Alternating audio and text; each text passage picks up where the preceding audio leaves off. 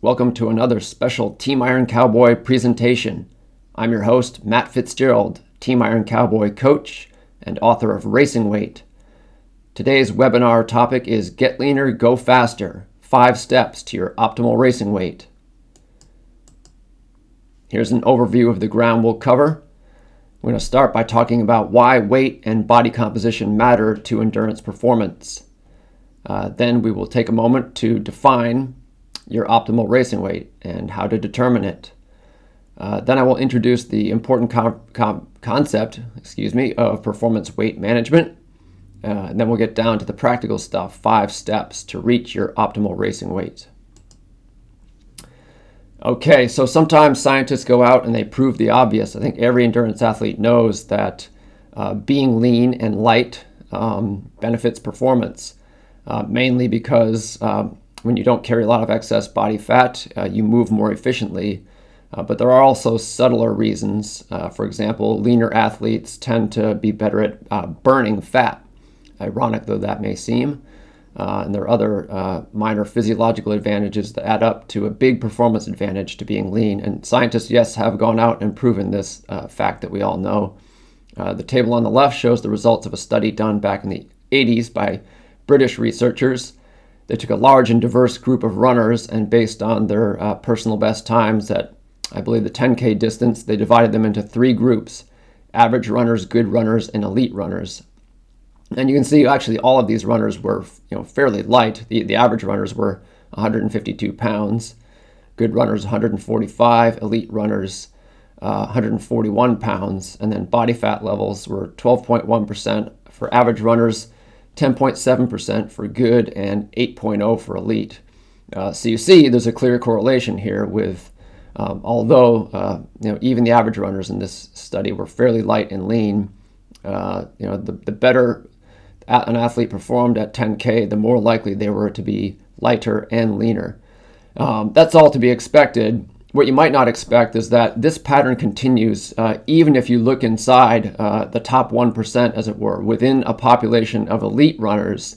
The leanest are still tend to be the fastest. Um, this was shown, the, the graph on your right uh, uh presents the results of a study involving elite Ethiopian runners. These were middle distance runners. Um, and uh, there were uh, 11 men and 10 women in the study.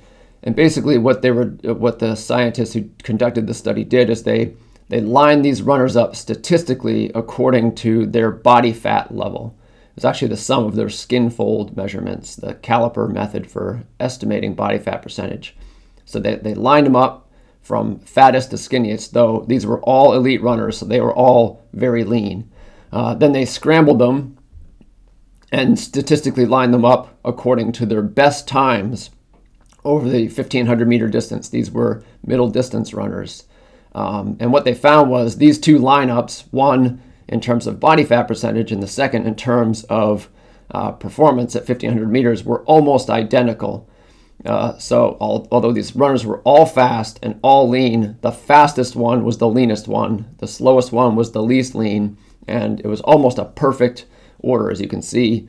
Uh, the way the uh, the individual results are plotted, plotted along this line, uh, that uh, body fat percentage, even among elite athletes, was as predictive of performance as uh, a more traditional physiological variable such as VO2 max. So it really does pay at all levels of performance uh, to be lean as an endurance athlete.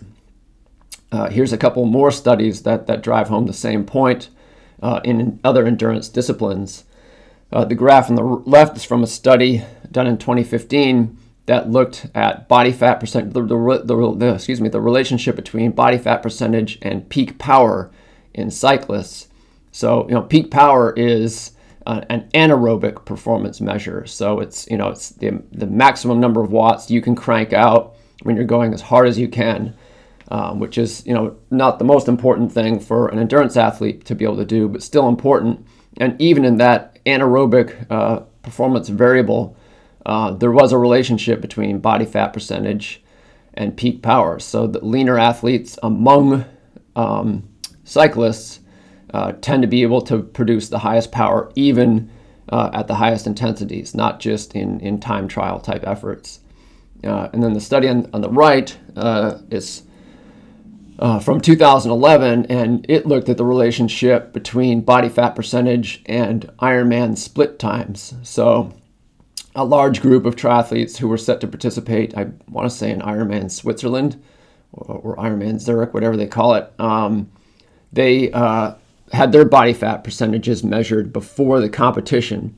And then after the competition, the, the scientists conducting the study uh, looked at their split times in the swim, the bike, and the run. And this was a good uh, way to see if and how much body fat percentage influenced performance, performance in each separate discipline in a triathlon.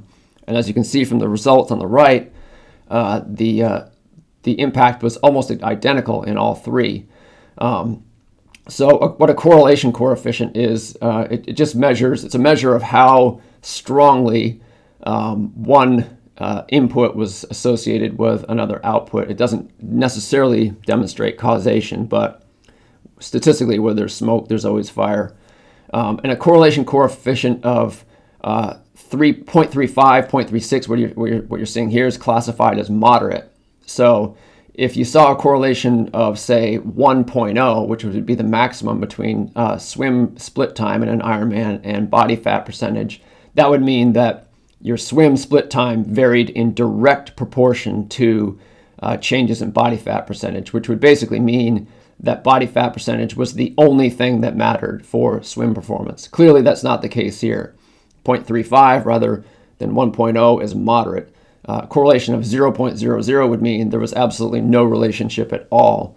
So what we find is that there's a you know a moderate moderate correlation between body fat percentage and performance in all three triathlon disciplines, which means that it's an important factor, but not the only factor uh, for performance. Which again kind of confirms common sense.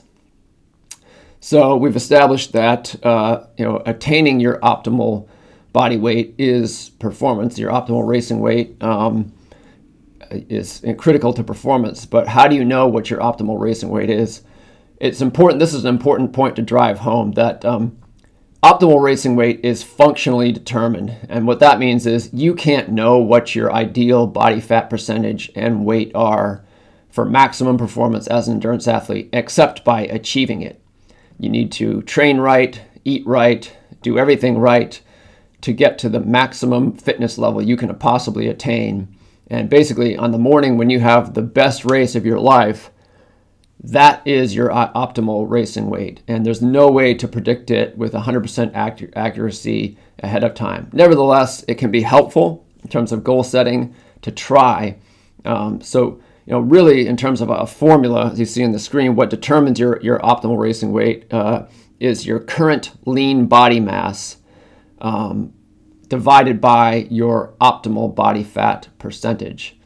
Um, so you need to know what these things are in order to make a, a, reasonably accurate estimate of what your optimal racing weight is.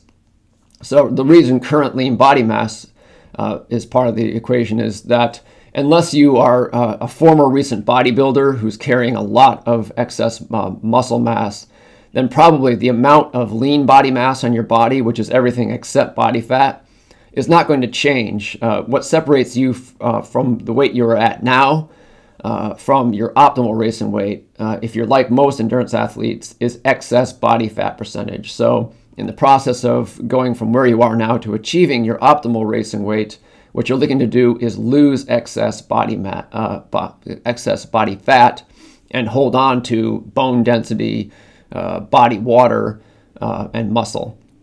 Uh, so that's the formula. I've tried to make it easy. Uh, uh, there's an online calculator that kind of does this for you. You put in a few inputs because there are other factors that that determine uh, you know what your optimal body fat percentage is. Um, that um, you know it's highly individual. It varies by uh, gender, varies by age, varies by genetics, varies by uh, your weight history. If you've ever been obese in the past, then the lowest realistically healthy body body fat percentage you can attain is not going to be the same as if you've always been lean.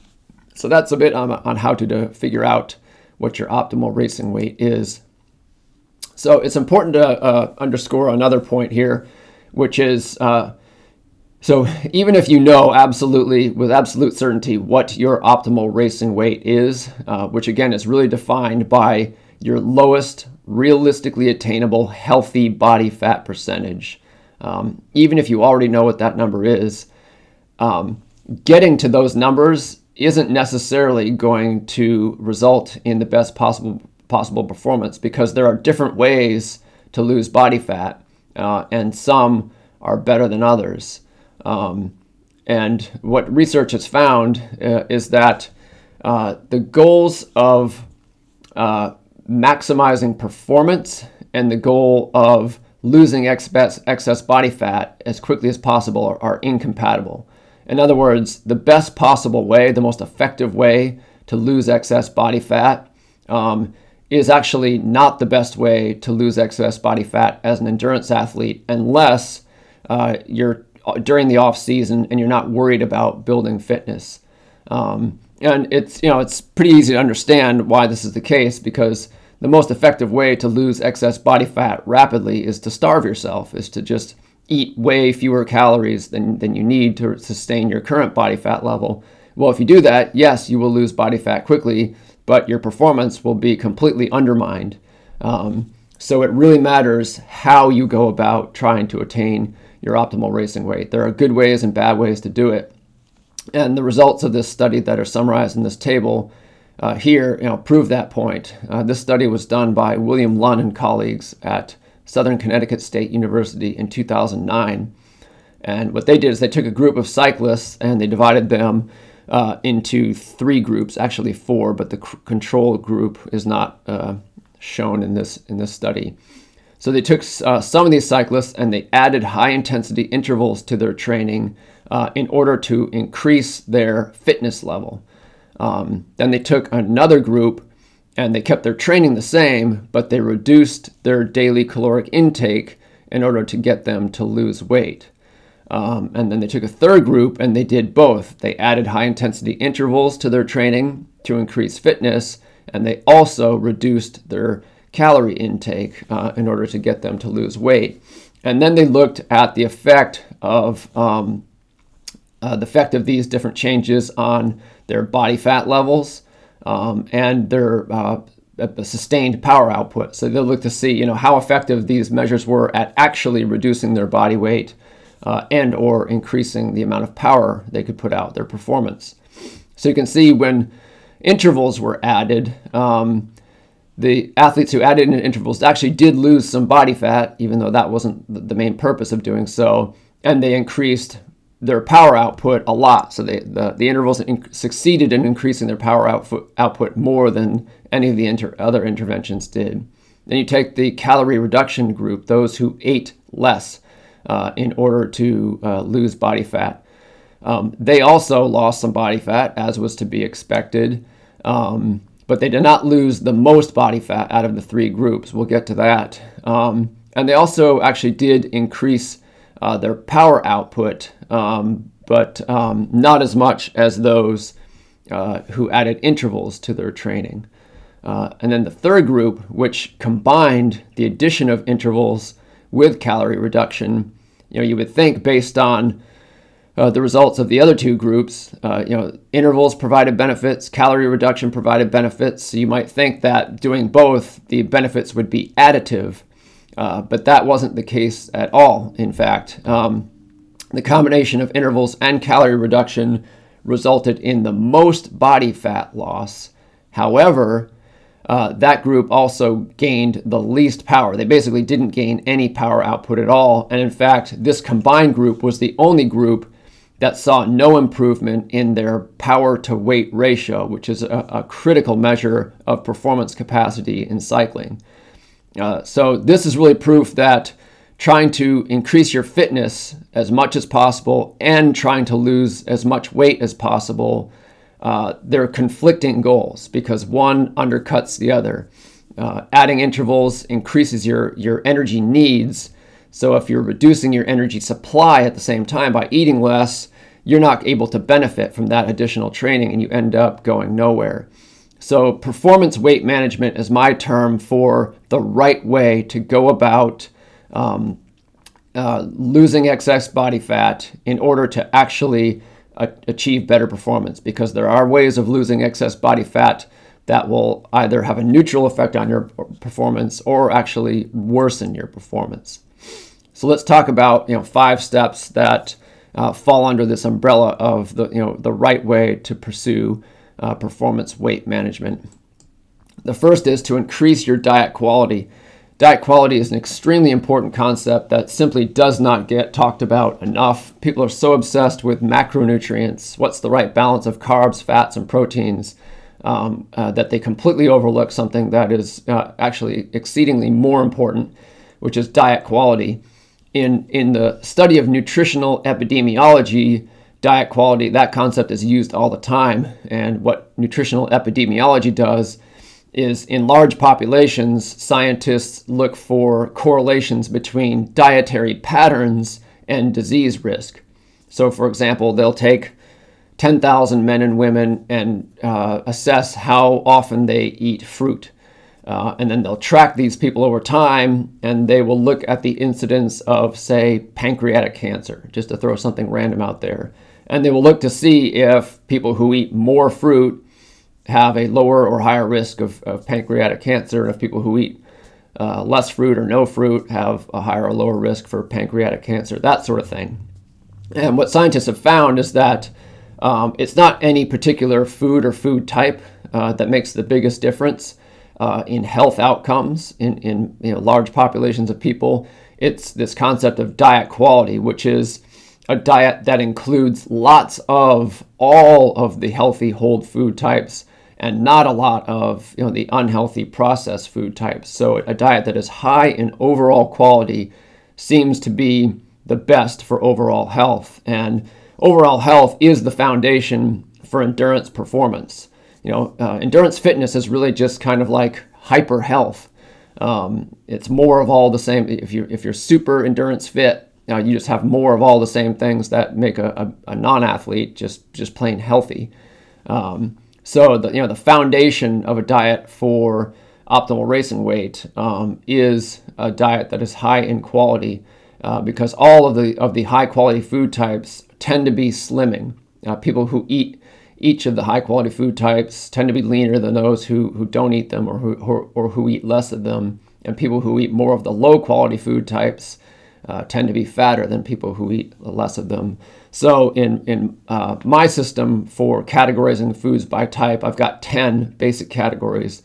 And in this table, I've arranged them in descending order of quality.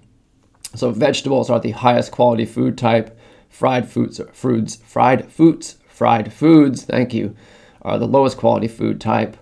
Um, so uh, if you want to increase your diet quality for the sake of uh, pursuing your optimal racing weight, what you basically want to do is eat the highest quality food types, the ones, uh, fruits and vegetables, which are essential in my classification, the foods that everyone, uh, every endurance athlete, every human being should eat. Um, you want to eat those food types more often, more frequently than any of the others. That doesn't necessarily mean you're going to get the most calories from those foods because they're extremely low in caloric density, especially vegetables, but that you're just having more frequent servings of them than you are of anything else. And then there's kind of a recommended category foods that um, I strongly recommend that you include in your diet unless you have, you know, um, kind of a religious or ethical reason um, or an allergy based reason not to eat them. But you, this should be your starting point is to also eat uh, nuts, seeds, and healthy oils, whole grains, dairy, and that's, uh, that's whole milk dairy, whole food, uh, uh, full fat dairy. Uh, believe it or not, the research shows that full fat dairy is good for you. Low fat dairy um, is neutral, neither good nor bad. And then unprocessed meat and seafood is also in the recommended category. So you should eat those types of foods uh, more often than all of the foods that are in the uh, acceptable or low quality classification. I say acceptable because I'm completely against rules that forbid people from ever eating any food type. If you look at the most successful endurance athletes in the world, all of them eat at least some of these low quality acceptable foods refined grains, processed meat, sweets, and fried foods. They just don't eat a lot of them. Uh, so there is such a thing as a good enough diet. a diet that is mostly high quality foods, uh, but does include low quality foods, um, is going to be just as good as, as one that only includes uh, high quality foods and, and has no low, low quality foods what, uh, whatsoever. It's what um, James Lawrence, the Iron Cowboy, calls a B plus diet. Really, uh, a B plus diet is going to give you the same results as an A plus diet, but anything below B plus is go- going to really start to harm you as an endurance athlete. So those acceptable low quality foods, you want to eat them less often than you eat any of the uh, higher ranked food types. Um, I actually have an app. Uh, it's a, the Diet Quality Score app, DQS app, uh, which is a really simple tool that allows you uh, to um, accurately quantify the, the overall quality of your diet. And it's really useful to use. It's much easier than food journaling or calorie counting or anything like that. Um, and it's uh, because most of us, we look through our own diet with rose colored glasses Everyone thinks they have a high quality diet. Few people actually do.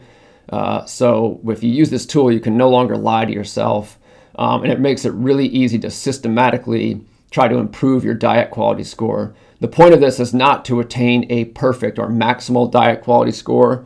Uh, you can get to 35. I've never measured the diet quality of a world class endurance athlete that reached that number. So it's simply not necessary uh, but incrementally increasing your diet quality score using this tool um, to the level where you are getting the results you want um, is uh, one important way to uh, attain your optimal racing weight and peak performance.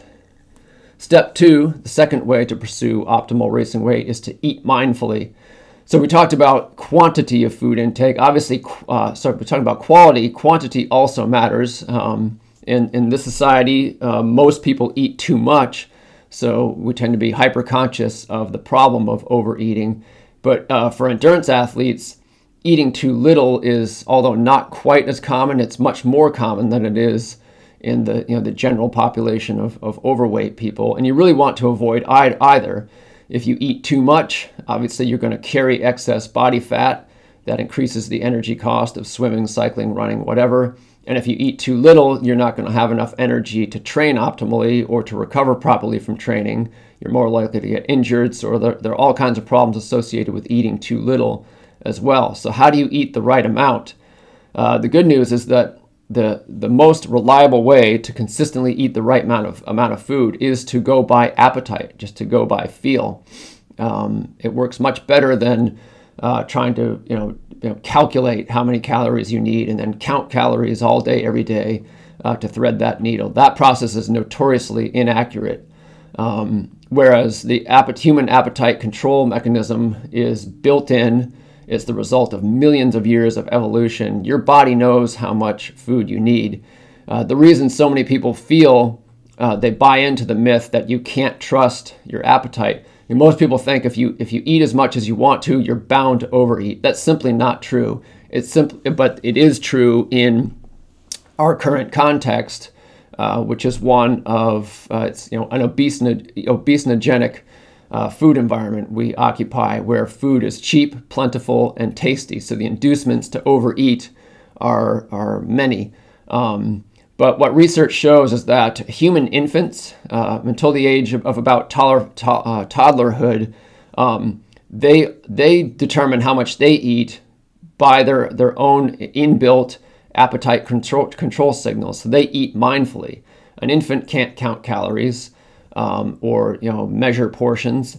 They just uh, cry when they're hungry to request food, and when they're uh, they've had enough food, they just stop eating. They they spit out that next bite. So we all have this ability. And if you look at the animal kingdom, you know, every type of animal you can imagine knows how much to eat. You know, you don't see, uh, you know, obese lions. Uh, so they're all using the same tool. Lions are not counting calories or measuring portions. They're simply eating when they're hungry and not eating when they're not. Uh, and that is the way to uh, get to your optimal racing weight. Uh, the trouble is, um, around toddlerhood in, in uh, uh, wealthy societies like ours, we're basically culturally taught to overeat because uh, we're served portions of food that are larger uh, than we need. And once you uh, kind of lose touch with simply listening to your true uh, hunger and satiety signals, uh, then no longer you can you can rely on them. So eating mindfully is about getting back in touch with those signals so that you can trust your appetite again. Um, so eating mindfully, you know, the first the first part is to distinguish physical hunger from mental hunger. So physical hunger is that that empty feeling in the stomach, the rumbling in the in the belly, and also that feeling of you know, declining blood glucose levels, where your sort of mental and physical energy is declining. When you feel those symptoms, that is your body telling you that you actually need need food. Mental hunger is simply it would be a nice idea to eat that donut uh, that my coworker just brought in to share with the office, even though I just had a bowl of oatmeal two hours ago. So in a situation like that where you're tempted to eat, but your stomach is not rumbling, that's mental hunger and the reason so many people, or one of the main reasons so many people in our society are overweight, is because they eat uh, from mental hunger rather than physical hunger uh, all the time. Uh, so, so it's just a matter of it takes a little practice, but research shows it's it's very doable. Uh, you just kind of step back from yourself, and and when you're considering eating at any point, you ask yourself, "Am I physically hungry, or am I simply mentally hungry?" the great thing about this practice is that you're you're not required to go hungry. Um, you're required to skip snacks and meals that you simply don't need because you're not hungry. But this is a practice that, that does not demand that you go to bed with a rumbling stomach. Anytime you're physically hungry, uh, you are allowed to and encouraged to eat. But you need to put down the fork before you're overstuffed uh, and then wait until you're physically hungry again to eat again. So uh, eat when you're physically hungry. Uh, and then don't restrict calories and portions. Uh, what the research shows on people who um, have a high level of what's called eating restraint is that they tend to eat less than they need uh, sometimes, and then they tend to overeat other times. They pinball back and forth because what happens is uh, when you restrict calories, and I, I, encounter a lot of athletes, especially very weight conscious female endurance athletes, who you know they're afraid to eat more even when they're training more. So they get to the point where their training means they need to eat a certain number of calories. Their rules about uh, calorie intake uh, set a ceiling that's lower than that, so they're hungry. Uh, and any human being can only put up with being hungry for so long before they snap and binge. So the highly restricted eaters tend to do just that. They yo yo or pinball back and forth between uh, eating not enough one day, then binging and overeating the next, or it could happen in weekly or monthly cycles. The point is, people who, athletes who try to uh, eat the right amount uh, using math or uh, you know any type of, type of eating restraint, they are much less likely to actually eat the right amount of food consistently. Consistently, it's the athletes who become good at eating mindfully, trusting their body's signals. Those are the ones uh, that do a good job of eating mind, uh, mindfully. And the last point here avoid mindless eating.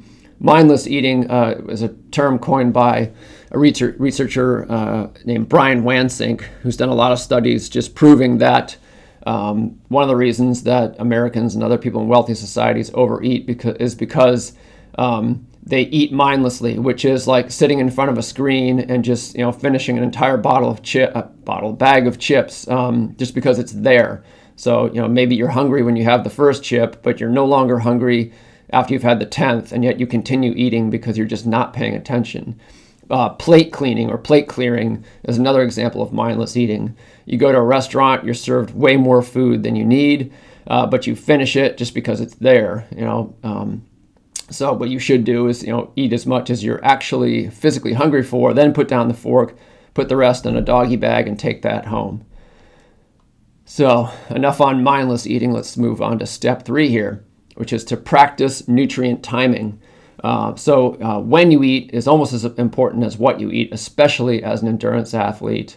Um, so this is this is pretty simple. You know, there was a, fad uh, or a phase for a while that uh, was all about grazing. The idea that if you ate uh, small meals or snacks every two or three hours, you would rev up your metabolism and get leaner that way. That turned out to be a myth based on nothing. It's it's just not true. You're actually more the the more often you eat, the more likely you are to overeat, uh, unless you are uh, one of these you know elite level athletes who's burning an incredible amount of calories and basically needs to eat uh, many times a day in order to meet their highly elevated energy needs. So, a basic the, the way to start with uh, nutrient timing is uh, uh, just a good old vanilla breakfast, lunch, and dinner. So three meals a day. That should be your starting point, uh, because nearly all humans are physically hungry three times a day, whether they're athletes or not.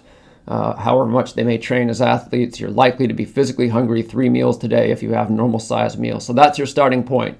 Now, some athletes do need to eat more often than that in order to meet their energy needs, in order to keep physical hunger uh, from becoming extreme between meals. So that's when snacks should be introduced.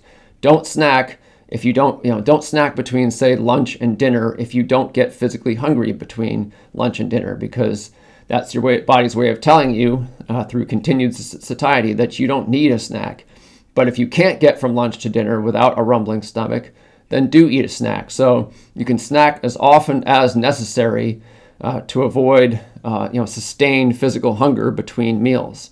So it doesn't take too long, you know, through your just your, your routine as an athlete training a certain uh, time, certain amount with a certain frequency uh, to figure out you know how often you need to eat uh, in order to uh, manage physical hunger and supply the amount of energy your body needs without excess. Um, it is also a good practice, as, as all endurance athletes now know, I think, to eat and or drink soon after bigger workouts uh, by taking in especially carbs and protein and, of course, fluid for rehydration within an hour or so after. Uh, it doesn't necessarily have to happen after every single workout, but definitely after those that are higher intensity or longer in duration. Um, if you do that, you will recover quickly, have a better workout the next day, and also, it will tend to accelerate the overall fitness building process because uh, recovery and the physio- physiological adaptations to training that make you uh, uh, a fitter athlete, those are largely over overlapping process. You you become fitter by sort of over recovering from workouts. So uh, that's an important element of nutrient timing as well. Um, also overlooked, um, what, what scientists found when they destroyed the myth that uh, eating frequently or grazing was the way to go. What they found was actually much more important was eating on a consistent schedule. So, you know, there are a lot of people out there, especially people with, you know, very busy lives. You know, they may eat uh, lunch at noon one day, at 2 p.m. another day. That's just crazy hectic at work, and they might skip it uh, skip it entirely a third day. Um, and what happens when you do that, when you're when you're on an erratic schedule in terms of when you're you are eating, uh, your body uh, kind of a hormonal panic switch is flipped, where your body doesn't ever know when the next meal is coming. So it kind of slows down metabolism and uh, causes your body to hold on to calories, to store calories as body fat. So even if the overall number of calories you eat averages out to be consistent, if you're getting those calories at different times from one day to the next to, the next, you'll actually uh, you know get fatter or fail to get leaner than you would if you took in the same number of calories on average, but on a very consistent schedule. So once you find the schedule that that seems to work best for you as an athlete, try to eat on that schedule every day. Uh, you know you don't have to be completely anal about it, but it's really helpful. Uh, you know to uh, eat the same day on Wednesday as you do on Saturday, schedule wise. Um, and then more and more these days, I see athletes trying to get uh, too clever by half, get fancy with uh, nutrient timing, with practices such as uh, intermittent fasting, you know, where you eat only 500 calories on uh, Monday and Friday and eat normally the rest of the time, or you don't eat at all uh, uh, for 16 hours a day and concentrate all your calorie intake during an eight hour period when you're awake and active. You know, all that stuff may, you know, help mar- very marginally, but those aren't the heavy lifts. That that stuff is not the stuff that most people need to do uh, to get, you know, 90% or even 100% of the way to their optimal racing weight. So that's kind of magic bullet stuff. And I see a lot of athletes who are doing basic things wrong who hope that by intermittent fasting they can just, you know, leap all the way from where they are to their optimal racing weight, and it never works out.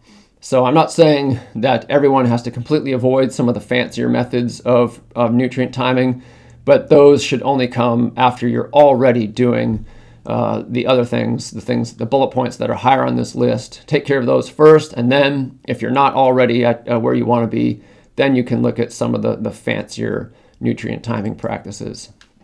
So, step four in uh, pursuing your optimal racing weight is self monitoring. And this is a really uh, important point. So, everything I've talked, to, talked about previously is just it's diet. This is more behavior. Um, it's, it's, not about what you eat or when. Um, it's about tracking your progress. So, there's plenty of research showing, for example, there was one study uh, in which uh, obese people were simply asked to write down everything they ate and and they were not asked to change their eating behavior at all. But guess what? Simply by writing down everything they ate, they lost weight because it made them more aware of what they were eating. It made them notice patterns that didn't make any sense. So they just kind of spontaneously, uh, you know, they wanted their food journals to look better, basically, and that inspired them to make small changes that made a difference in how much they weighed. So uh, it's kind of the opposite of the concept that the watched pot never boils. Um, you know, when you pay attention, you tend to do things differently. So you need to uh, pay attention to yourself as an athlete pursuing your optimal racing weight in relevant ways that will help you achieve that goal.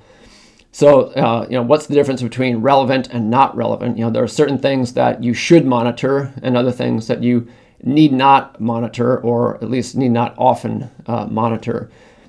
So diet quality discussed previously is high on the list of things you should monitor. Again, I highly recommend that you down, download the uh, the DQS Diet Quality Score smartphone app and get in the practice of uh, monitoring your diet quality. Um, just seeing that number uh, and seeing where the room for improvement is will naturally lead you uh, to make changes that improve your diet quality. Um, Body weight, obviously, is, is an important one to monitor. So, once a week or so, step on that bathroom scale um, because you don't know if the changes you are making to your, your diet and your training, which we'll discuss in a moment, you don't know if those changes are helping unless you measure relevant outcome variables such as body weight. Um, you want to see the number go down on the scale, assuming that you're currently carrying excess body fat. Uh, speaking of excess body fat, even more relevant because remember, your optimal racing weight is defined by uh, your lowest realistically attainable healthy body fat percentage. So you want to me- measure your body fat percentage. Uh, there are a variety of ways to do that. The gold standard these days is the DEXA scan. It's the same medical instrument that's used to measure bone mineral density. Uh, those are highly accurate, um, but they're not very accessible, and they're expensive when they are accessible. Um, so just as a, a, rough and dirty way to uh, get basically the same information, you can use one of those bio bioimpedance uh, scales like the Tanita, Tanita Ironman series. That's what I have. They're not as accurate, but they're accurate enough so that when you see trends, either up or down in your body fat percentage, you can trust that those are real trends. Even if the exact number you're seeing is not 100% accurate, um, the trends will be real trends. And so you want to see your body fat percentage go down as you're doing the things you're supposed to do to shed excess body fat. And then finally, and, and by no means least importantly, you want to regular, regularly monitor performance because, because, again, I can't repeat this uh, point enough.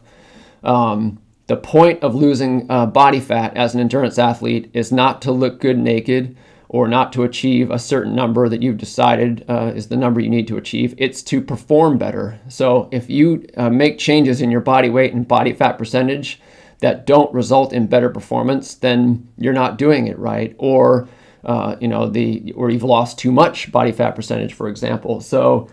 Uh, you know, there are simple ways we all do it uh, in our training, kind of monitor performance. You can even insert sort of uh, regular performance tests in your training I like what I call 95% time trials. Um, so, you know, once every few weeks, let's just say you're a runner, every few weeks you do you know, a 10K, warm up and run 10K uh, at, at, a very high level of effort, but not quite a race level of effort. Do that every uh, five weeks or whatever, and you should see your times improving as you see improvements also in your body weight and body fat percentage. If you see that combined trend, then you know that the changes in body weight and body fat percentage are actually uh, benefiting you and achieving uh, the, their uh, purpose for you as an endurance athlete. Um, if your performance goes down, even as your weight goes down, you're either losing too much weight or you're losing it in the wrong way. And then finally, in terms of things not to bother monitoring, calorie counting, as I suggested. Um, in special circumstances, uh, it's useful, especially in what I call a weight loss focus phase. So sometimes in the winter or right before you start a training cycle in the spring, if you have you know several pounds or a number of pounds that you need to lose, it's okay to count calories and reduce them in order to shed some pounds quickly before you turn your focus back to fitness development. But remember, maximum fat loss and maximum fitness gain are incompatible. So you want to choose which one's more important. If uh, losing weight quickly is truly most important and you're not worried about building fitness right now, it's okay to count calories, you know, you know, reduce them by, you know, eat 500 calories per day less than your body needs to maintain your current weight. Uh, that will work. That will help you lose weight, but you want to stop doing that and go back to mindful eating uh, once your attention turns back to performance. And then there's a national obsession with counting macronutrients. You know, is the optimal ratio ratio 60 20 20 or some other thing? You know, the less carbs, the better. Say a lot of people. Um, you know, none of that actually is really uh, all that important if you're uh, maintaining a high quality diet. If your diet quality score is high and you're eating enough food without eating too much, I can guarantee that your macronutrient balance is not holding you back in any way. So you can just focus on diet quality, focus on eating enough but not too much, and never bother to count your macronutrients um, because there is no perfect um, macronutrient ratio. There's such a thing as too much or too little uh, for each of them fat fat protein and carbohydrate. But there are ranges. You know you might you might be able to function just as well at uh, 70% carbohydrate as at 50% as long as uh, you have a very high diet quality and you're getting enough food overall. So don't worry too much about your exact balance of macronutrients. So step five is training. We've talked about uh, diet. We've talked about sort of uh, behavioral management. That was the monitoring piece. And also, of course, training is uh, relevant to racing weight. And here's another topic where that really drives home the point that not all weight loss is good weight loss. So, what the research shows is that if you want to train to get leaner and you're not interested in training to become a better endurance athlete, then the best way to train is to focus on high intensity interval workouts. So, basically, go hard all the time uh, and don't bother with the, the long, uh, easy workouts. And you will lose more uh, body fat than you would if you trained like uh, a normal endurance athlete. However, if your goal is actually to maximize your performance as an endurance athlete, you need to train in a very different way. Um, and you'll still get leaner, but instead of achieving you know the leanest body fat percentage you could possibly get to you'll actually achieve the body fat percentage uh, that's right for optimal performance as an endurance athlete, which again is the goal if you're an endurance athlete and not you know a fitness contest uh, competitor. So, what is the right way to train for optimal performance as an endurance athlete? It's the uh, obey the 80-20 rule. So, the 80-20 rule refers to the idea that, um, and again, this is science-based. It's also real-world based. Um, if you look at uh, any elite endurance athlete in any discipline, from rowing to cross country skiing to swimming to cycling to triathlon uh, to running, they all do about 80% of their total training at low intensity uh, and 20% at moderate to high intensity. Um, it just worked out that way over generations and generations of trial and error simply because that's what work, works best. And uh, now some, some very rigorous uh, formal scientific studies involving recreational endurance athletes have found that uh, even we mere mortal athletes also improve the most, get the fittest when we obey the same ratio, doing 80% of our training at low intensity, 20% at moderate to high intensity. Interestingly, while all elite endurance athletes follow the 80 20 rule, um, mostly unconsciously actually, uh, the typical recreational endurance athlete does more like of a 50 50 thing. We spend a lot of time at moderate intensity when we think we're at low intensity. Um, so uh, you'll um, achieve great benefits um, in terms of improving your fitness and performance if you fix that ratio. Go from the typical 50 50 thing to actually slowing down a lot of the time and then speeding up a little bit of the time so that you hit that 80 20 ratio. Um, and most likely, you know, you will you will that, that's an effective way to get leaner. Again, uh, the high intensity based training is the most effective way to get leaner, but it doesn't get you lean in a way that will actually improve you as an endurance athlete. So that's number one is obey the 80 20 rule. Also, it's helpful to polarize your training. And, and, what polarized training means is that you either go hard or go home. So uh, the way the scientists measure it, there are basically three intensity buckets. There's low, moderate, and high. What the research is showing is that uh, you need to do 80% of your training in the low bucket but that most of that remaining 20% should be in the high bucket versus in the moderate one. Uh, so polarized training means sort of avoiding the middle. You don't need to avoid it as much as possible, particularly because a lot of races actually occur at moderate intensity, and so you want to have uh, some familiarity with that, some level of uh, specific adaptation to moderate intensity.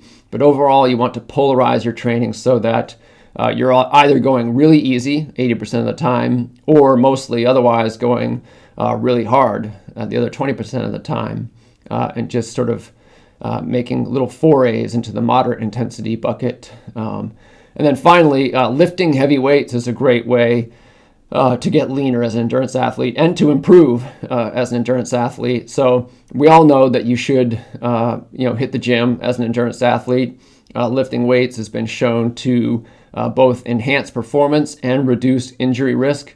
Uh, but a third benefit is that it, all, it also helps athletes get leaner um, by uh, uh, sort of, of course, the idea is not to bulk up, but you're never going to bulk up if you're running 60 miles a week and then lifting an hour a week in three 20 minute sessions. It's just not going to happen. Trust me, I've been training that way for years and I couldn't be skinnier than I am. Uh, but a lot of athletes make the mistake of uh, going to the gym and choosing a weight that they can lift 20 times. Uh, that's not going to do it. You'll get marginal benefit from that, but you're already doing the endurance thing. So you don't want to lift weights in an endurance fashion. You want to go in there and get stronger uh, and add a little bit of um, energy hogging lean muscle mass to your body. So by doing that, um, you know, uh, muscle mass is a gas guzzler. So uh, even by adding a pound of muscle um, to your body, uh, you will increase your 24 hour resting metabolism. So basically, the, the way I like to put it is that muscle eats fat. Uh, so lifting heavy weights, uh, it'll help you get injured less often. It'll uh, help you be more powerful on the bike or in the pool or up hills when you're running. Uh, but it will also um, add a little bit of muscle to your frame that eats a little bit of the fat off your body and is kind of a, a final piece in the recipe for attaining your optimal racing weight. So we've covered our topic. Thank you very much. If you want to learn more about me, my website is mattfitzgerald.org. Twitter handle, uh, mattfitwriter. Looks like I've du- duplicated the website information there. And you can always find me, Team Iron Cowboy members, uh, on our site. So I hope you've gotten a lot out of this presentation. I enjoyed doing it, and uh, see you at the races.